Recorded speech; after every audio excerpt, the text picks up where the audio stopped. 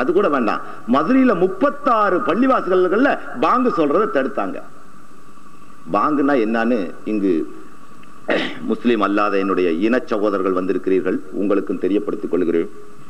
ஏதோ அல்லாஹ் அக்பர் அல்லாஹ் அக்பர் கத்துறதை கண்டா உனக்கு கொஞ்சம் கஷ்டமா தான் இருக்கும். அது என்னன்னு தெரியுமா உனக்கு?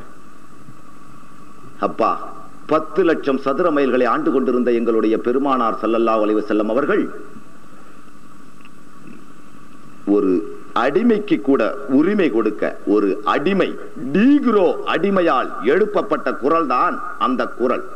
அந்த அல்லாஹ் அக்பர் என்று பாங்கு சொல்லப்படுகிறதே அது ஒரு அடிமை நீக்ரோ ஹசரத் பிலால் அலி அல்லாஹ் தாலானு அவர்களால் எழுப்பப்பட்ட குரல். ஒரு அடிமைக்கு இஸ்லாத்தில் எவ்வளவு மகிமை பாருங்கள். இன்று வரை கிட்டத்தட்ட எண்பத்தி மூணு சதவிகிதம் உள்ள அன்டச்சபிள் தீண்டத்தகாதவர்கள் என்று சொல்லப்படுகின்ற பிராமண அல்லாத மக்களை தமிழர்களை இன்று வரை தமிழர்கள் தெலுங்கர்கள் கன்னடர்கள் மராட்டியர்கள் இன்னும் பல மொழி பேசுகின்ற மூவாயிரம் மொழி பேசுகின்ற மக்கள் கிட்டத்தட்ட பதினாலு தேசிய மொழி பேசுகின்ற மக்களை இன்று வரை ஒரு இந்து மதம் ஆதிகாலம் தொட்டு இன்று வரை தீண்டத்தகாதவனாகத்தான் வைத்திருக்கிறது தோழர்களே.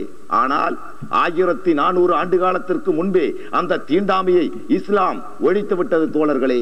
அந்த ஒழிப்பின் அடையாள சிகரம் தான் அந்த அடிமை நீகிறோ எழுப்பிய குரல் தான் அன்று எழுப்பிய நாள் தொட்டு இன்று வரை not even one second unceasingly sorry இங்கிலீஷ்ல பேசுறேன்.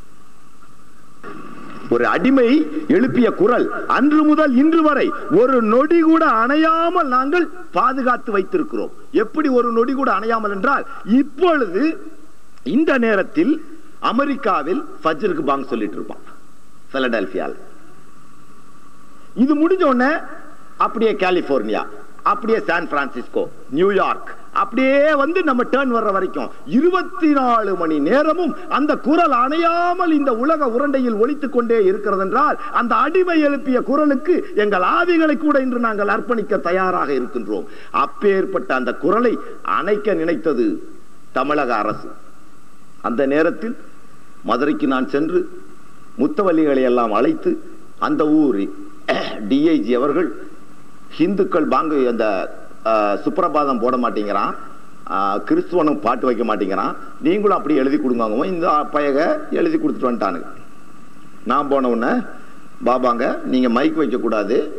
பிகாஸ் உங்கள் முத்தவள்ளியெல்லாம் எழுதி கொடுத்துட்டாங்க. அட முத்தவள்ளி யாரா எழுதி கொடுக்கறதுக்கு? அவங்க அத்தா ஒடிச்சு வத்தான் இவன் வீட்டில் ரெண்டு அடி எழுதி கொடுத்துருவானா?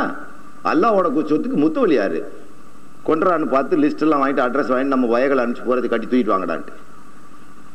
நான் தீவிரவாதி தான் நான் வந்து ரசுல்லா மென்னெஞ்சர்கள் பிறர் மனம் கூட புண்படாமல் நடந்தவங்க ஒரு பொய் பேசுனதில்லை. நானே வெட்கப்படுறேன் வேதனைப்படுறேன். ஆனால் நான் தீவிரவாதியாக தான் இருந்து ஆகணும் என் சூழ்நிலையின் நிர்பந்தம்.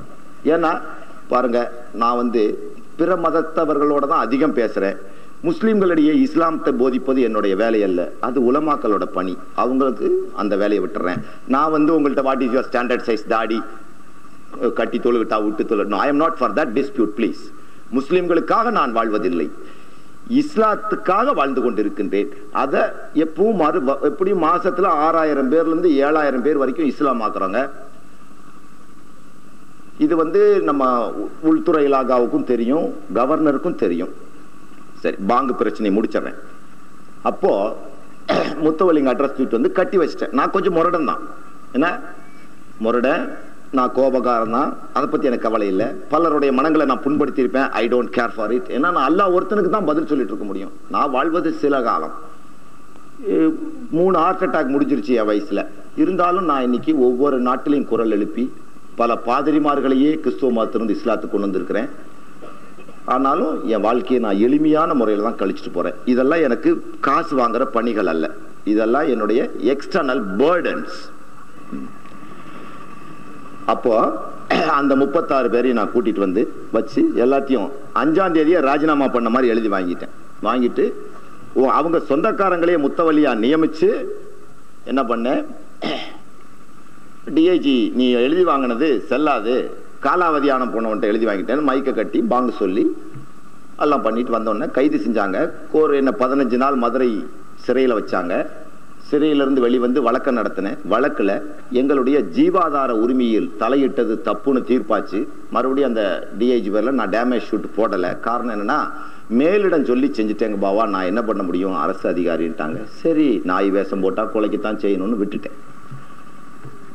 இப்படி பல அதிகாரிகளை நான் மன்னித்து விட்டுருக்கேன். என் மீது தேச பாதுகாப்பு சட்டம் போட்ட collector district magistrate superintendent of police ரெண்டு பேர்த்தையும் ஒரு தேச பாதுகாப்பு சட்டம் போடப்பட்ட ஒருவன் மீது போடப்பட்டு விட்டால் அந்த கிரவுண்ட்ஸ் ஆஃப் டிடென்ஷன் என்று சொல்லப்படுகின்ற ஆதாரங்கள் உயர் நீதிமன்றத்தாலோ அல்லது கமிட்டியினாலோ நிராகரிக்கப்பட்டால் அதை தயார் பண்ண அதிகாரி மீது நடவடிக்கை எடுக்க வேண்டும். அப்படி நடவடிக்கையின் உச்சகட்டமாக அவருக்கு மூன்று ஆண்டு காலம் சிறை தண்டனையும் வழங்கலாம். அப்படி இருந்தோம் அந்த அதிகாரிகள்லாம் வந்து என் காலில் விழுந்ததுனால சரி மன்னிச்சு விட்டேன்.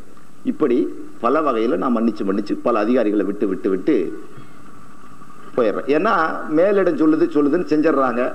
அதனால நான் மன்னிக்க வேண்டிய ஒரு சூழ்நிலைக்கு ஆளாயிட்டே இருக்கிறேன். என்கிட்ட கனிவும் இருக்கு அதே நேரம் முரட்டுத்தனம் இருக்கு. வீம்பு பண்ணிட்டான்னா அது கவர்மெண்டா இருந்தாலும் நான் பார்க்க மாட்டேன். எந்த நாட்டின் உதவியும் நான் தேடுறதுக்கு தயங்க மாட்டேன்.